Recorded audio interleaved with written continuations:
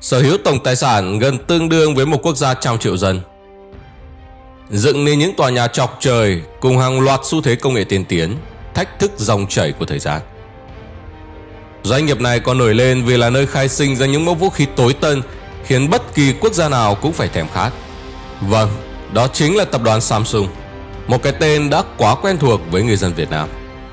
Thế nhưng gã khổng lồ này không phải là nhân vật chính ngày hôm nay. Vai trò đó phải dành cho những thiết bị quân sự cực kỳ tiên tiến do bộ phận quốc phòng Samsung Techwin sản xuất.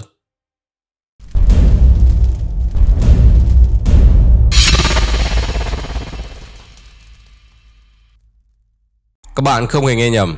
Bên cạnh là một ông trùm trong lĩnh vực sản xuất, kinh doanh các thiết bị công nghệ điện tử, điện lạnh và đồ gia dụng. Samsung cũng từng là một trong những cái tên lớn trong lĩnh vực công nghiệp quốc phòng, góp phần không thể thiếu cho sự nổi danh của vũ khí Hàn Quốc trên thị trường vũ khí.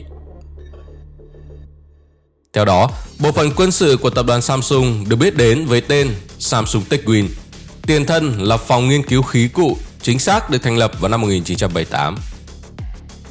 Chỉ 2 năm sau, Samsung Techwin đã có thể tham gia vào việc chế tạo các sản phẩm quân sự. Mà bước đầu tiên là phát triển động cơ phản lực cùng General Electric của Mỹ cho máy bay để phục vụ không quân Hàn Quốc. Đến năm 1984, Samsung Techwin sau thời gian nghiên cứu vũ khí lục quân cũng đã thành công trình làng dòng pháo tự hành 155 ly. Nhưng rõ ràng Samsung Techwin vẫn chưa lấy gì làm thỏa mãn với những thành tích ban đầu. Đơn vị này sau đó thay vì chuyển sang phân lô bán nền thì lại không ngại đẩy mạnh nghiên cứu công nghệ quốc phòng, bất chấp đây không phải là lĩnh vực đem lại quá nhiều doanh thu cho cả tập đoàn. Cứ như vậy, đến năm 2014, công ty này đã có thể tham gia vào sản xuất ít nhất 6 loại sản phẩm liên quan tới quốc phòng an ninh. Nhưng đáng tiếc là cũng trong năm này, tập đoàn Samsung đã thông báo bán cổ phần đang nắm giữ của Samsung Techwin cho Hanwha Group trong một kế hoạch nhằm vứt bỏ các mảng kinh doanh không cần thiết và tập trung vào các mảng tăng trưởng quan trọng nhất. Kể từ đó, Samsung Techwin chính thức trở thành một phần của tập đoàn đa quốc gia Hanwha. Do vậy, 30 năm vẫn là thời gian đủ để các sản phẩm mang thương hiệu Samsung ghi đậm dấu ấn trên thị trường quốc phòng thế giới. Và cho đến hiện tại, những thiết kế vũ khí đó vẫn còn được sử dụng trong rất nhiều lực lượng vũ trang trên khắp hành tinh. Nổi tiếng nhất trong số này phải kể đến là thân sấm K9 Thunder. Điều này cũng đánh dấu việc lần đầu tiên xứ sở Kim Chi cho ra đời loại vũ khí mang sức mạnh vượt trội so với hầu hết các đối thủ trên thế giới. Thậm chí đến hoàng đế pháo binh PZH-2000 của Đức cũng bị cho là có phần lép vế. Số là trong những năm 1980, giới chức Hàn Quốc đang hết sức lo ngại trước tình thế đối thủ phía Bắc của họ đang chuẩn bị sẵn một con bài giàn đe. Chính là các trận địa pháo khổng lồ với hàng ngàn khẩu cốc sàn cỡ nòng 170 ly. Loại pháo này được cho là đủ sức đập vụn các cơ sở hạ tầng ở thủ đô Seoul từ khoảng cách 60 km từ các địa điểm tiếp giáp khu phi quân sự DMZ. Rõ ràng nếu điều đó xảy ra sẽ là một thảm họa cho phía Hàn Quốc, dồn hàng triệu người dân nước này vào thế bị đe dọa đến tính mạng. Chính vì vậy, nhiệm vụ trước mắt được đặt ra đối với Samsung Techwin đó là phải nhanh chóng cung cấp cho quân đội Hàn Quốc một hệ thống pháo binh thế hệ mới, tốc độ bắn nhanh, tầm bắn xa, độ chính xác cao Thời gian triển khai và thu hồi ngắn, ít nhất cũng đủ để giúp quân đội Hàn Quốc phản công ngay lập tức vào thẳng trên địa pháo đối phương nếu đối phương dám khai hỏa trước. Đến năm 1999, sau 4 năm dòng dã với các bài thử nghiệm khắc nghiệt, khẩu pháo tự hành K9 do công ty này sản xuất đã chứng minh được khả năng đáp ứng hầu hết các yêu cầu và trở thành một trong những dòng vũ khí chủ lực mới của lục quân Hàn Quốc. Dù là một trong những sản phẩm quốc phòng Hàn Quốc có tỷ lệ nội địa hóa cao, Thế nhưng K9 Thunder vẫn sử dụng khung gầm xe tăng M1 của Mỹ. Nó bao gồm cả động cơ diesel MTU 881K500 8 xi lanh làm mát bằng nước với công suất 1.000 mã lực và hộp số tự động XL100 4AZ. Nhờ hệ thống khung gầm này, K9 Thunder có thể di chuyển với tốc độ tối đa 67 km/h trên phạm vi 480 km. Không những thế, hệ thống pháo tự hành mang thương hiệu Samsung cũng được tích hợp bộ phận giảm sóc bằng hệ thống treo thủy lực hiện đại giúp nó có thể băng qua ngay cả những đoạn đường gồ ghề, hiểm trở ngay tại vùng biên giới giáp với Cộng hòa Dân chủ Nhân dân Triều Tiên. Là loại pháo tự hành 155 ly được sản xuất dựa trên khung gầm xe tăng của Mỹ. Các 9 Thunder có kích thước tương đối lớn so với các đối thủ, với chiều dài là 12m, rộng 3,4m, cao 2,37m. Ngoài vũ khí chính là khẩu pháo 155 ly có tầm bắn tới 40 km với đạn thông thường và là 54 km khi sử dụng đạn tăng tầm Tháp pháo của K9 còn được trang bị một súng máy để tăng cường khả năng phòng thủ cự ly gần. Nhưng đứng trước đối thủ tiềm tàng là quốc gia sở hữu vũ khí hạt nhân thì rõ ràng chỉ một hệ thống pháo được bọc thép đơn giản thôi chắc chắn là chưa đủ với quân đội Hàn Quốc. Vậy nên khi phát triển K9 Thunder, Samsung Techwin cũng không quên trang bị cho ông thần này khả năng tự bảo vệ, giúp kíp chiến đấu có thể an toàn trước các nguy cơ từ sinh hóa học, phóng xạ cũng như các mảnh đạn pháo hoặc súng máy cỡ nòng 14,5 ly. Theo nhiều nguồn tin, K9 Thunder còn có thể bắn đạn hạt nhân chiến thuật. Có thể coi đây là khả năng nguy hiểm nhất của K9 Thunder, nhất là khi nó kết hợp với chế độ bắn loạt độc đáo MRSI. Đây thực chất là khả năng bắn 3 viên đạn trong vòng 15 giây với các quỹ đạo khác nhau và chạm đích cùng lúc. Dựa trên viên đầu tiên, máy tính trên xe sẽ tính toán đường đạn của viên thứ hai và thứ ba và tự động chỉnh bắn hai viên này, gây ra sức công phá khủng khiếp, hủy diệt mọi mục tiêu trong tầm tấn công. Dù mang trong mình sức mạnh hết sức to lớn, nhưng K9 Thunder lại chỉ có thể mang được 48 viên đạn pháo, thua xa con số 60 của PZH-2000. Đây có thể coi là một trong những điểm yếu trí tử khiến khẩu pháo này bị giới hạn khả năng tác chiến trong các tình huống phải chiến đấu trong thời gian dài trên một mặt trận quý ước. Để khắc phục điều này, Samsung Techwin cũng chuẩn bị riêng cho hệ thống pháo một xe tiếp đạn K10 có sức chứa tới 140 quả đạn dự trữ các loại cho phép binh lính vẫn có thể tiếp đạn cho pháo mà không phải phơi mình ra ngoài để hứng chịu cảnh bom rơi đạn lạc. Sự ra đời của thần sấm K9 cũng đánh dấu lần đầu tiên trong lịch sử của mình, người Hàn Quốc đã phá vỡ mọi định kiến về việc quốc gia nhỏ bé này chẳng làm được gì hơn ngoài việc dựa hoàn toàn vào Mỹ về tất cả các loại vũ khí, trang thiết bị quân sự. Điều đó có thể được kiểm chứng ngay trong cuộc đua nhằm giành lấy hợp đồng cung cấp pháo tự hành cho quân đội Ấn Độ hồi năm 2016. Qua đó, đứa con cưng của Samsung Techwin đã giành chiến thắng hết sức thuyết phục trước dòng pháo 2S19 Merstar, trở thành loại vũ khí được quân đội Ấn Độ lựa chọn. Ngoài ra, tại các nước như Estonia, Ba Lan, Thổ Nhĩ Kỳ, người ta cũng tin dùng thần sấm K9 chứ không phải hoàng đế pháo binh PZH-2000, bất chấp đó là sản phẩm đến từ đồng minh NATO của họ. Tuy nhiên, pháo tự hành vẫn chưa phải là loại vũ khí phức tạp nhất do Samsung Techwin phát triển. Thật ra, ngay từ những năm 1980, hàng chục năm trước ngày pháo tự hành K9 Thunder ra đời. Công ty đã cùng với General Electric của Mỹ tiến hành hợp tác và từng bước đi vào nghiên cứu sản xuất máy bay phản lực. Kết quả là, đến năm 1994, chiếc tiêm kích phản lực thương hiệu Hàn Quốc đầu tiên mang tên KF-16 đã được chuyển giao cho quân đội nước này.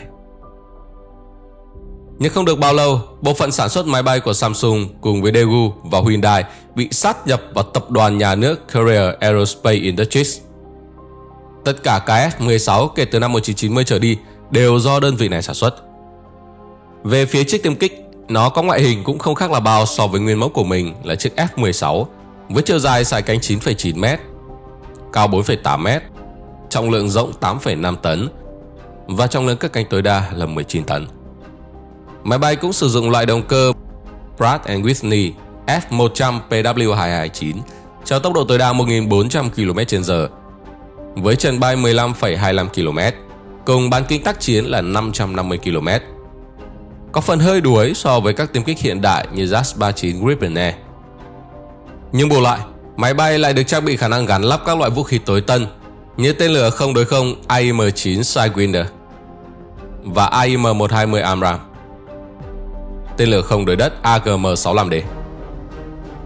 Ngoài ra, chiếc máy bay của Hàn Quốc cũng được tích hợp loại radar APG-68 có phạm vi truy quét mục tiêu tới 296,32 km. Các tính năng khác trên máy bay có thể kể đến bao gồm màn hình hiển thị head-up góc rộng. Máy bay này mang theo thiết bị phát tán khói hoặc pháo sáng để tự vệ trước các tên lửa đang lao tới. Cho đến hiện đại, khi mà Samsung đã không còn bất kỳ công ty nào có khả năng sản xuất máy bay chiến đấu, những chiếc tiêm kích này vẫn được nhiều người nhắc đến với danh xưng máy bay Samsung. Trong bối cảnh căng thẳng quân sự trên bán đảo Triều Tiên ngày càng có dấu hiệu gia tăng, không quân Hàn Quốc vẫn duy trì tới 10 phi đội máy bay chiến đấu KF-16. Thậm chí, không quân Hàn Quốc còn đang dự kiến triển khai chương trình hiện đại hóa sâu rộng hơn nhằm nâng cấp các máy bay KS-16C, D lên tiêu chuẩn tương tự biến thể F-16V của Hoa Kỳ. Dù không thể được xếp ngang hàng với những dòng tiêm kích tối tân bậc nhất thế giới, kể cả tại thời điểm được ra mắt, nhưng những thành công bước đầu từ dự án KF-16 của Samsung cũng cho thấy tham vọng của người Hàn Quốc về khả năng quốc gia này có thể trở thành một trong những nhà phát triển tiêm kích hàng đầu thế giới là hoàn toàn khả thi. Để rồi cho đến năm 2021, chiếc tiêm kích đa năng KF-21 đã lần đầu tiên lộ diện, được giới chuyên gia cho là sẽ trở thành đối thủ không hề dễ chịu của mẫu checkmate đến từ Nga trên thị trường vũ khí thế giới. Tuy nhiên, đó sẽ là một câu chuyện mà chúng tôi đề cập đến các bạn trong một video khác của kiến thức quân sự. Còn bây giờ hãy cùng đến với một mẫu vũ khí tiếp theo, cũng mang đậm dấu ấn thương hiệu Samsung mang tên Evo 105. Vâng, nếu bạn đang cảm thấy hệ thống pháo tự hành mà chúng tôi đang trình chiếu trên màn hình đây có gì đó quen thuộc, thì rất có thể bạn là một fan đích thực của nền công nghiệp quốc phòng nước nhà. Hoặc ít ra cũng có cơ hội tận mắt chứng kiến loại pháo tự hành đến từ nhà máy Z751 Việt Nam ngoài thực tế. Thật vậy, vì cùng được phát triển dựa trên quá trình tích hợp loại pháo M101 do Mỹ chế tạo trên cung gầm xe tải cơ động, nhằm biến những khẩu lựu pháo xe kéo cổ lỗ sĩ thành hệ thống pháo tự hành bánh lốp cực cơ động, đáp ứng các yêu cầu chi viện hỏa lực cơ động trong chiến tranh hiện đại. Nếu ở nước ta, những khẩu pháo xe kéo được xí nghiệp vũ khí Z751 cho tích hợp lên xe Uran 375D nổi tiếng đến từ Nga. Thì tại Hàn Quốc, Samsung Techwin lại gắn nó lên dòng xe tải Kia KM500 6x6 bánh. Cũng là sản phẩm nội địa Hàn Quốc, có thể mang pháo cùng 60 viên đạn dự trữ. Nhờ đó, khẩu pháo 105 ly bé nhỏ được đặt ngay trên thùng xe này có thể bắn từ góc âm 5 độ đến dương 65 độ theo phương thẳng đứng và âm 90 độ đến dương 90 độ theo phương ngang. Việc dẫn hướng theo chiều thẳng đứng và ngang được thực hiện bởi thiết bị dẫn động chạy điện.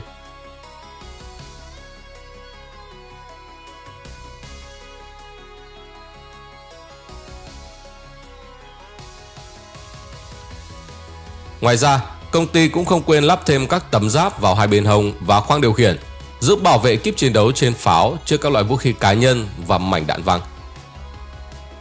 Dù nghe có vẻ đơn giản, nhưng không biết có phải để tiết kiệm một vài tấm thép hay không, mà trong đa phần các thiết kế đều tích hợp pháo xe kéo lên khung gầm xe bánh lốp. Ngoài trừ Evo 105, người ta đều dường như không để ý đến điều này. Như để xứng danh là loại vũ khí đến từ Samsung, loại vũ khí này cũng được kết nối với hệ thống dẫn hướng tự động, hệ thống định vị kết hợp nhằm đảm bảo cho pháo tự hành mới có độ chính xác cao hơn. Được biết, Tầm bắn của pháo 105 ly phụ thuộc vào từng loại đạn và hệ thống nạp đạn. Đối với các loại đạn pháo thông thường, tầm bắn của pháo tự hành có thể đạt 11,27 km. Trong trường hợp sử dụng đạn pháo phản lực tích cực nổ phá, tầm bắn của pháo có thể lên tới 18 km. Còn theo công ty Samsung Techwin, pháo Evo 105 có thể triển khai nạp đạn và bắn viên đạn đầu tiên trong thời gian 60 giây và tốc độ bắn của pháo có thể lên tới 10 viên trên phút. Miễn là thao tác của xạ thủ đủ nhanh.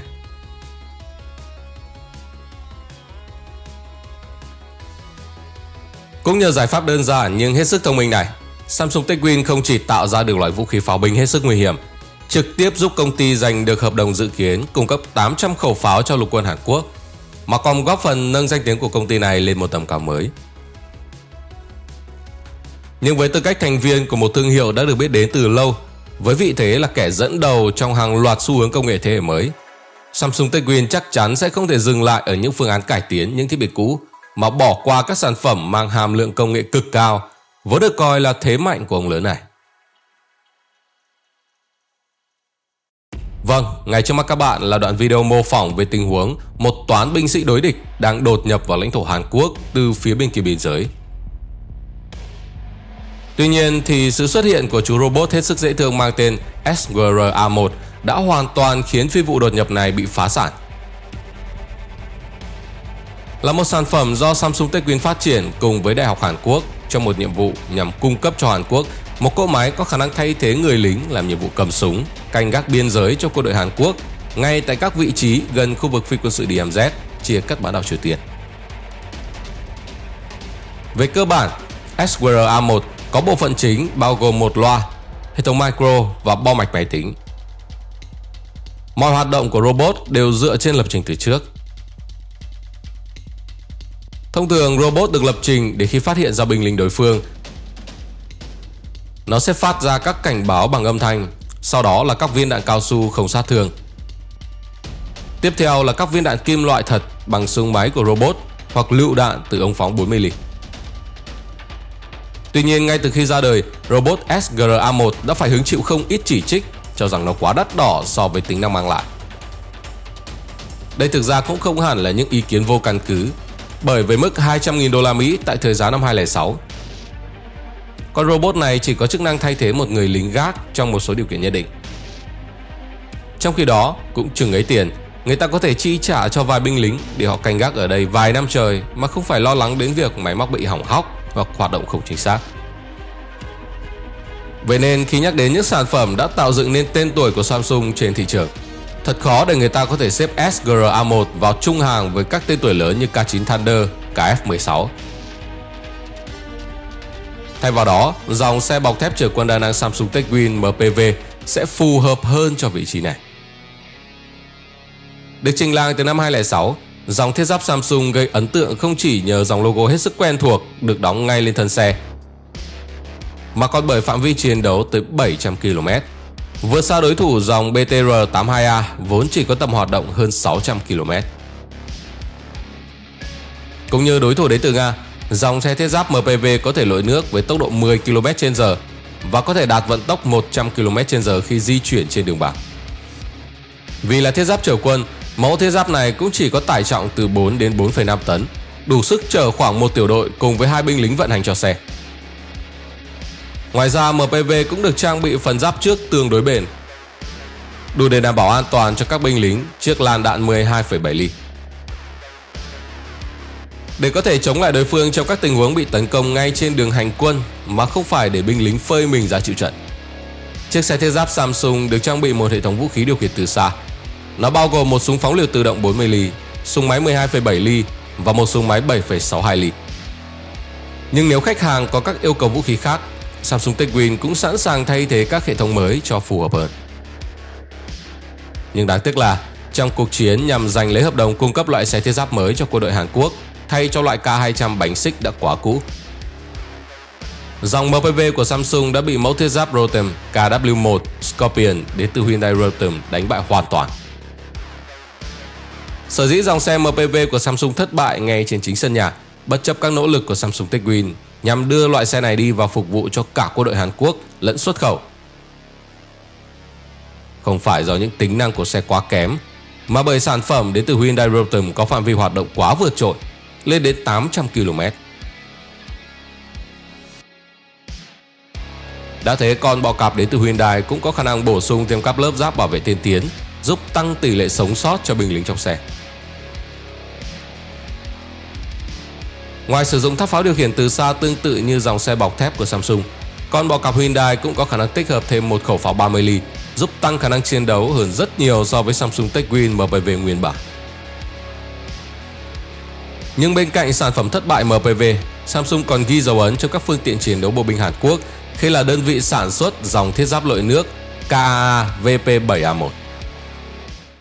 Cũng như nhiều loại vũ khí thế hệ đầu khác của Hàn Quốc, mẫu KAV được chế tạo dựa trên nguyên mẫu AAVP-7A1 đến từ Hoa Kỳ. Có thể bạn chưa biết, đây vốn là một trong những dòng thiết giáp lội nước được trang bị cho thủy quân lục chiến Mỹ từ năm 1972. Sở hữu động cơ có công suất lên tới 2.702 mã lực, cho khả năng bơi với vận tốc lên đến 46 km/h, cùng những màn rẽ sóng cực ấn tượng như những gì mà các bạn đã chứng kiến trên màn hình. Về phía chiếc KAV của Samsung Techwin đây được xem là một trong những biến thể tốt nhất của AAV7 về khả năng bảo vệ. Nhưng bù lại, xe lại chỉ có thể di chuyển với tốc độ 39 km/h dưới nước và 72 km/h trên đất liền. Nhưng chừng đó vẫn là quá đủ để người Hàn Quốc thực hiện các nhiệm vụ tác chiến đổ bộ, cho phép xe phóng từ tàu lên bờ trong thời gian ngắn.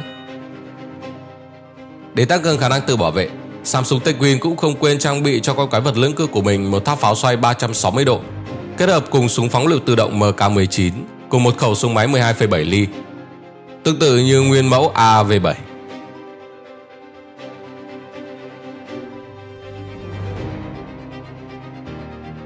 Hiện nay, dù cái tên Samsung đã rút lui khỏi mảng công nghiệp quốc phòng, nhưng những dấu ấn của họ trong nền công nghiệp quốc phòng Hàn Quốc vẫn khiến cho nhiều người không khỏi thán phục.